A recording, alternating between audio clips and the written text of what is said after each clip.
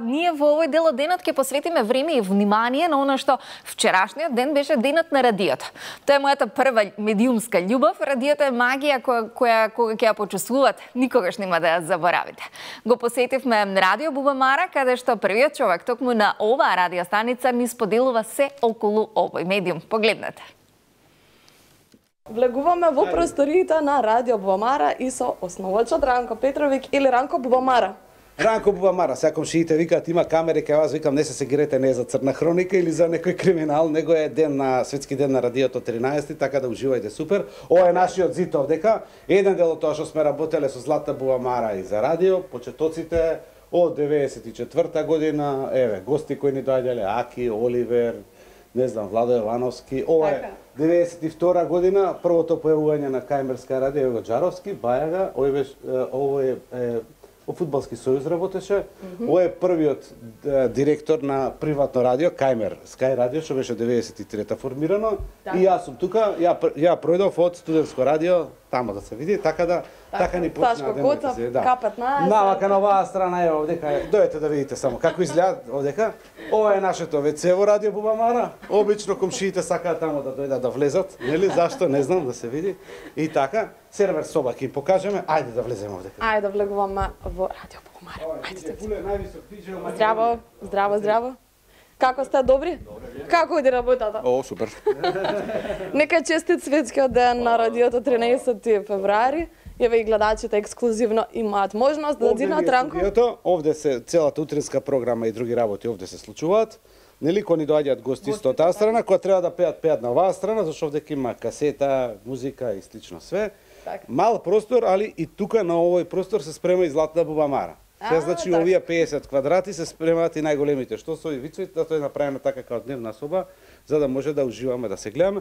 И имаме едно старо фиче овдека што сме го преправиле. Многу така интересно да, да биде за нешто слуша. Така, Ние ќе седнеме овде на, на во дневната соба како што велиш ти. И добро те најдовме. Ја вас добро ни дојдовте, како и секојаш. Радио Бубамара постои од 94 година така. и символиката на на радиото беше да, да името кога го стававме да биде Бубамара, демек секојаш гостите ни се добродојдени, како во радио, така и на 105.2 FM на нашата фреквенција, така добро ни дојдовте Канал 5 и нека да сте живи и здрави, зубаво вака се гледаме. 94-та, многу одамна е тоа.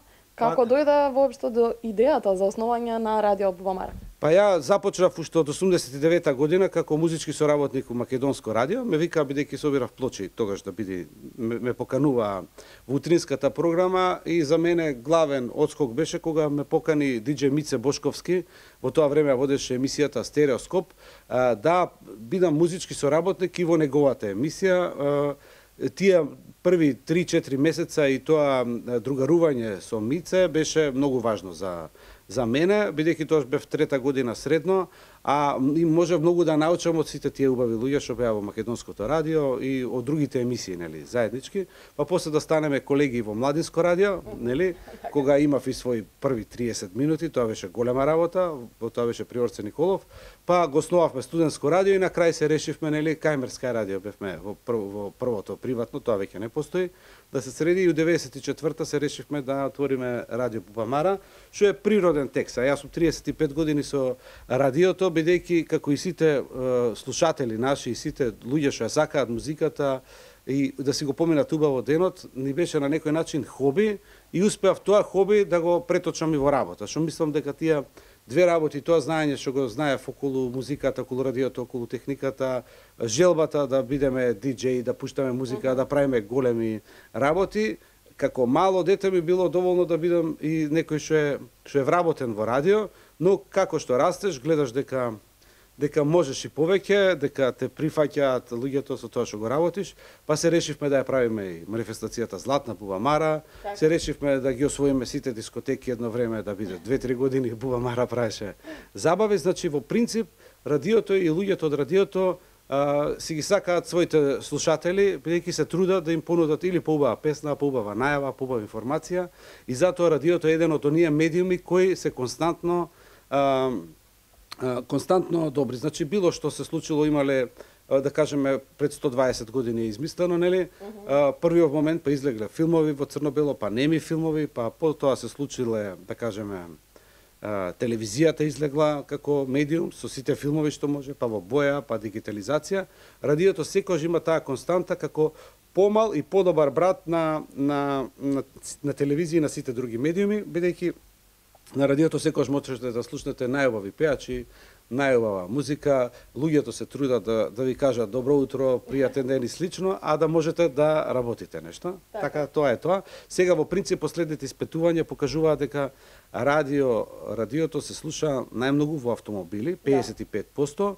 другите припаѓаат 20%, не знам, по фирми, по ресторани mm -hmm. и по, по, да кажем, по големи објекти, молови, и останатите 10-15% се постари е, слушатели кои сакаат да слушаат нели на вакви радио слично, да. Ова на нас ни овдека као мониторинг сова да слушаме како се слуша на ваков, како се слуша на ваков, кој онако тука е добар звукот на радиото, значи ни цело Скопје и пола Македонија е е добро се слуша. А ние уживаме вака во винтидж, гледате, имаме и касета од стара да. носталгија кој што сме биле мали. Така, така да, да Целото студио е во винтидж, да. ретро, ретро со.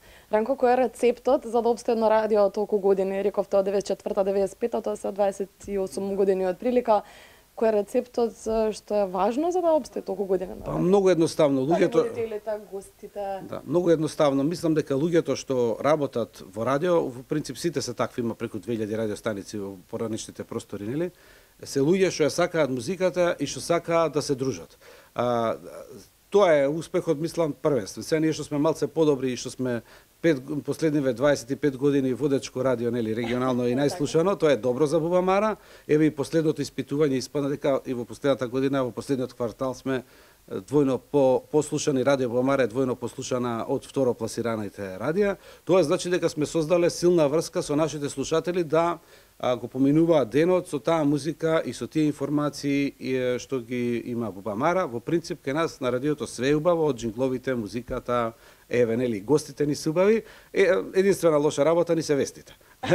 Тамо не може ништо убаво да се слушне, ама тоа кратко трае и мора луѓето да се вратат малку нормално, после повторно ги враќаме во убавиот музички свет и уживаат заедно со Буба Мара. И во принцип сите што слушаат радио во кола или слично, не, не им одзема време. Значи, за да застанете, да читате нешто или да гледате, ја социјална радиото може да ви понуди во секое време и затоа е толку прифатено вие 120 години и, и, и луѓето го сакаат. Так. Не, не да не ве прашам, сигурно и гледачите едва и чекаат да слушнат кога ќе биде златна Буба Амара на популарноста годинава. Еве веќе се подготвуваме еден месец, а, значи 16 март е датумот кога ќе се одржи 26-тото издание на Златна Буба Амара. А, слоганот е да штедиме, а да не се штедиме. А, значи, ќе вреди да се арчиме, да, ќе вреди да се арчиме со добар хумор, сатира и со песна и со музика. Значи, најголемите музички звезди од регионот и од Хенас ќе бидат тука. Луѓето кои сакаат културата, кои сакаат да поминат убави 4 часа на телевизија, ќе го гледаат тоа на Канал 5, а оние кои ќе имаат можност да дојдат до билети, на кои ќе бидат пуштени, мислам, на 23 февруари, 100% ќе уживаат 4 часа, 3 и пол часа на Бубамара и инветуваме дека ќе се вратат пред да се исклучат уличните светилки. Значи оваа година гледаме малце пократко да биде, минатата година бевме 4 часа, над 4 часа, луѓето ужива, све е во ред, но мислам дека 4 и пол часа се премногу и за филмот Спилберг. А ние го добивме тоа се гледа, затоа е оваа година ветуваме ќе бидеме 3 до 3 и пол часа, ама ќе биде незаборавно повторно, па ако треба утре ден така продолжиме. Така верувам дека ќе биде така како и предходните 25 години. 26-то издание Бубама Златно Бубамара на популярноста, а 28 Бубамара на радиото. Се гордеете ли? Убаво ли е чувството убаво е, уште кога ги зборуваме овие бројки? Види, со радиото е многу убаво што секогаш можеш да сосеќаш млад, зашто кога ќе пуштиш ретро песни, е ова е од наше време. и кога ќе дојдат некои помлади соработници или слушатели, викаат, у, што убаво вие сте живееле со тие песни. Стварно нашата генерација зборам од 68 до 75 живееше со тие песни, бејќи диско клубовите беа подготвени, а, веќе можеа да функционираат, луѓето имаа плочи, касети и таа музика што излегуваше како тој период е многу важен за светската музика, нели? И ние исто како млади, полни со желба за забава и за дружење, таа музика ја прославувавме и на домашни забави или по, или по дискотеките. И тоа е една од предностите да се види, а убаво е кога ќе работиш оваа работа нели со со музикава дека секогаш мислам дека се осеќаш као млад бидејќи викаш че ова е песна од наше време, ствари се сеќаш пак како 16 години. Еве ја има 50 години веќе, а не осеќам дека дека ова го работам, него цело време знам дека е тоа комплетно живање, имаме огромна поддршка од сите и од слушатели, и од соработници, и од естрада, бидејќи ова што го прави Бубамара е на некој начин добро, исправно и правилно за развој на и на, на музичкиот вкус, и за културата, и за луѓето кои создаваат музика, така да ние сме едно добро бубамарско друштво, што се дружи на 105.2 и, и еднаш годишно, нормално, на приморани се да дојдат и на Златна Бубамара на популарноста. така, како да. се подготвуваат, како ви почнува денот, како се подготвуваат, која плейлиста ќе оди дента или еве денес за светскиот ден на радиото, дали имате некоја посебна агенда, дали ќе викнете да. гости за светскиот ден на радиото? Ние секој ден имаме посебна обично тоа се созда се се прават тие плейлисти 2-3 дена предходно и се спрема програмата во зависност од тоа дали е светски ден на радиото, на светски ден на телевизијата, да, а, али многу е важно и денот го пратиме целата емоција во текот на на денот да ја пропратиме со музика. Значи ако врне тогаш се пуштаат поинакви песни. Да, ако е ден да, кога се родил Майкл Джексон, да кажеме, се пуштаат тие песни. Морам така да, да прекинам да, едно прашање, баш сум забележала и често дискутираме ние во автомобил затоа што сме постојано на терен, слушаме радио. Споменавте кога врне по тажни, по депресивни песни. Зошто не е обратно? Кога врне по ведри да се пуштаат песни. Добро. Кога е сончево со побрз ритам одат песни, по весели за лето, нели во текстот се зборува. Зошто е тоа така? А, не, ние а, зависи како каков е периодот. Ако е ако е есенски дожд, тогаш а, може да одите со поинакви песни. Тоа, ако е навечер и паѓа дожд, тогаш тие капки тој дожд може да се поинакви. Но ако врне преку ден, тогаш убаво да иде, не знам, бежи кишо с прозора.